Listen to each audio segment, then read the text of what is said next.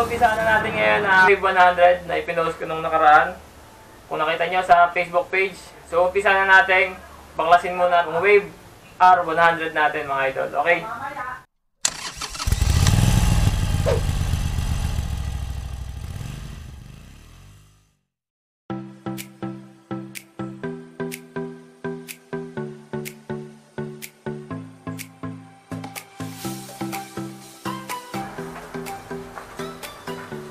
Unang pyesa.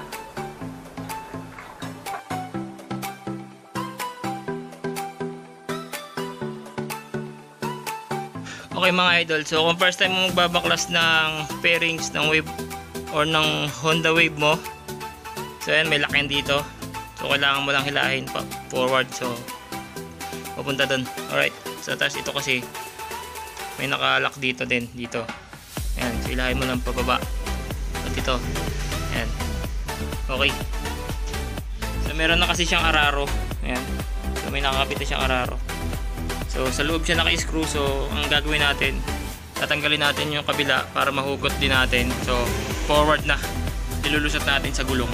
Alright.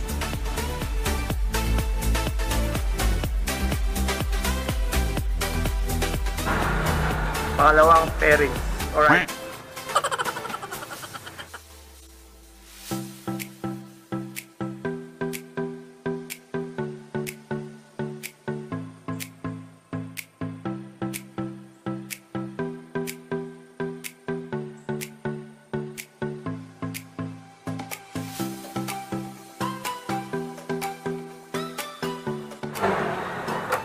Pangatlong pairings.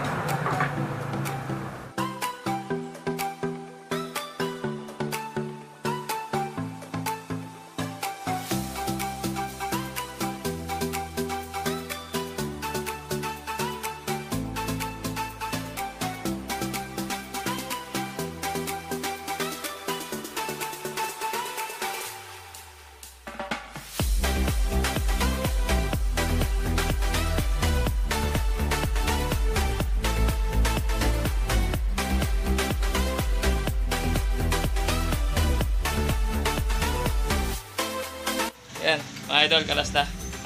Yung gulong, babalik ko na lang muna kasi ah, kakalasin ko yung swing arm sa likod. Yan, so pag nakalas, kakalasin ulit. Basta, kakalasin yan. Okay. Ito na yung mga pairings, kalas na yan. Yan, kakalasin ko lang din to. Kasi hindi kasama to sa Papa Decals nung ano, ni Idol. Okay.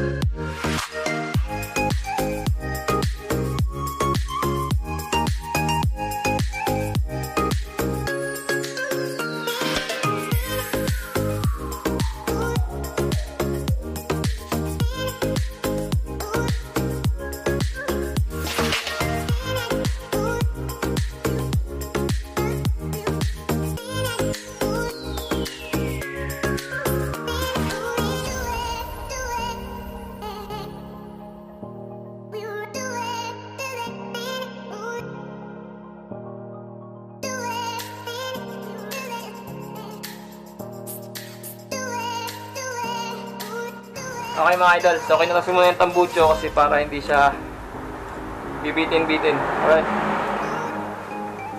Kasi baka pumutok pa yung sa block, yung tornilyohan. So, baka mag-crack. Pinalas ko na muna. Alright.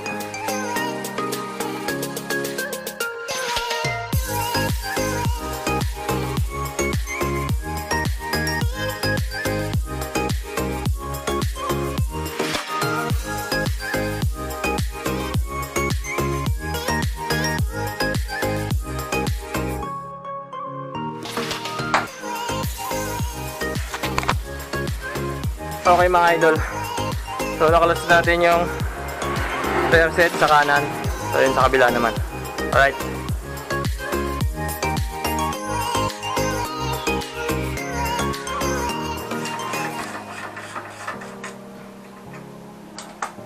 Okay mga idol, so nakalas ko na yung nut nito. Yung swim arm axle natin. So ngayon, kakalasin ko naman yung dalawang shock. Alright. Tapos, kakalasin na rin yung gulong para makalas na to. Yung ating swing arm. Alright. Susukatan kasi to eh. Tapos, papamachine shop. Tapos, kakabitan. So, susukatan na siya ng ano, extender sa likod. Alright. Hindi ko sure kung plus 2 or plus 3 yung ikakabit ni Idol. Yan. So, Idol Gary. Alright. Yan. Tuloy na natin to. Alright.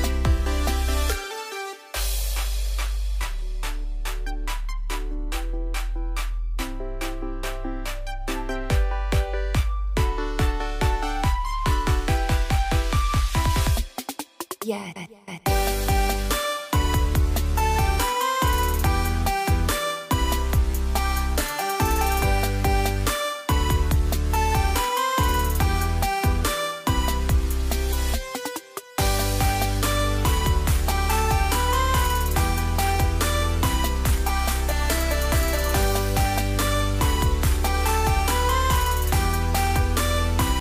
Okay mga idol. So, kalas na yung swing arm. Tapos natin kakalasin yung gulong naman.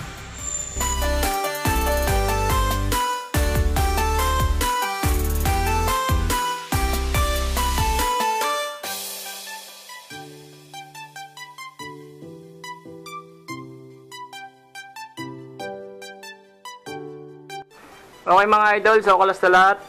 Kalas ng gulong, pairings, swing arm, kalas na. Okay. So ngayon, pakita ko sa inyo yung mga kinalas natin. Okay, ito na sila lahat. Gulong, swing arm, tsaka mga pairings. Alright. So yun mga idol. See you next video mga idol. Part 2 na yan. Marami pa tayong gagawin dito sa Honda Wave R100. Alright mga idol. That's all for the video. Thank you for watching. As always. Ride safe and enjoy riding.